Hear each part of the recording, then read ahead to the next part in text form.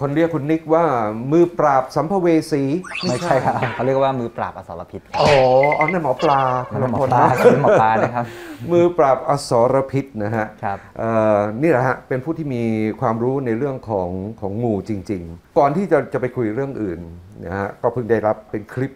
จากเพื่อนเมื่อเช้าขออนุญาตถามเลยครับว่าคลิปอันเนี้ยจริงหรือหลอกนะฮะในประเทศอินเดียครับไปดูนะฮะเนี่ยฮะเอ่อ คลิปนี้คือคนอินเดีย ซึ่งก็เป็นคนที่เสกงูเขาเรียกว่าเนี่ยเสกงูเนี่ยงูเห่าครับ แม่เบี้ยโผล่ขึ้นมาเลยนะฮะปุ๊บแล้วก็มีเอ่อเนี่ยฮะนักท่องเที่ยวชาวต่างชาติครับเข้าไปขอถ่ายรูปด้วยงูเห่าแพแผ่แม่เบี้ยขึ้นมาวางอยู่บนศีรษะแบบนี้ครับ แล้วก็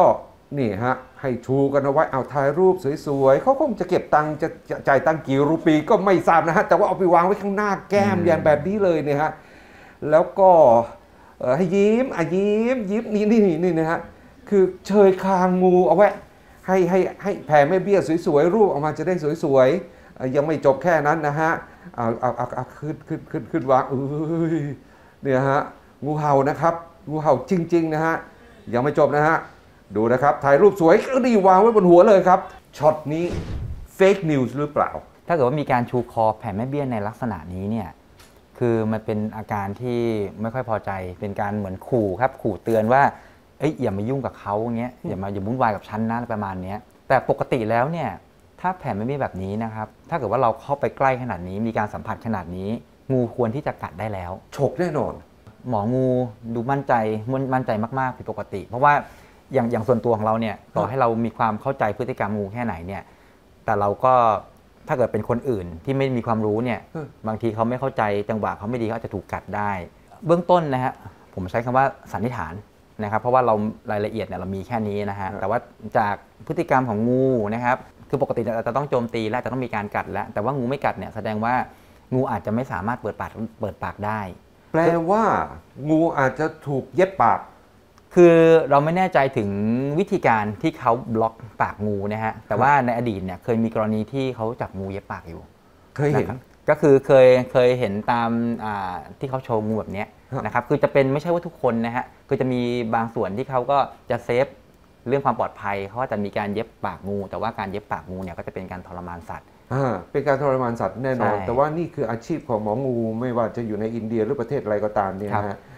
แต่นี่คือเป็นสิ่งที่อันตรายเป็นอย่างมาก ถ้าครับไม่เย็บปากงู แต่ถ้าที่ถ้าที่เราดูแล้ว เราไม่เห็นงูแลบลิ้นออกมาเลย งูจะแลบลิ้นอยู่ตลอดเวลาใช่ไหมครับคือจริง ๆ แล้วเนี่ยเวลามีอะไรเข้าใกล้เนี่ยงูจะแลบลิ้นเพื่อสัมผัสกลิ่นอ่าเพื่อเพื่อเพื่อตรวจจับว่ารอบๆตัวเขามีอะไรบ้าง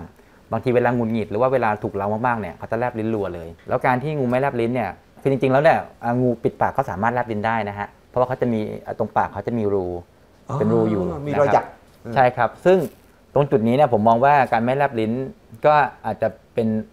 มีเหตุผลบางอย่าง แต่ถามว่าสิ่งที่เห็นชัดๆก็คืองูไม่มีพฤติกรรมการที่แบบจะอ้าปากมาเลยอ๋อหรือไม่มี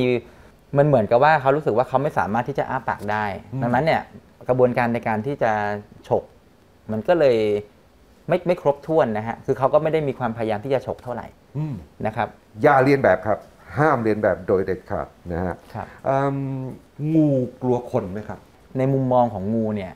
มนุษย์เป็นสัตว์เป็นสิ่งมีชีวิตที่มีขนาดใหญ่มาก แล้วก็ดูน่าเกรงขาม เพราะว่าเราอาศัยอยู่ในแนวตั้งฉากนะครับคือเราตัวเรายิ่งสูงใหญ่ ดังนั้นเนี่ยพอเขาเห็นคนเนี่ยมุมมองในความรู้สึกเขาเนี่ยเขารู้สึกว่าอ่ามนุษย์เนี่ยกำลังจะเข้ามาทำอะไรเขาหรือเปล่า เขากลัวเรามากกว่าครับจะทำร้ายเขาไหมหรือว่า จะเข้ามากินเขาหรือเปล่าเออนี่ครับนี่คือมุมมองมุมมองของของสิ่งมีชีวิตแบบนี้ครับ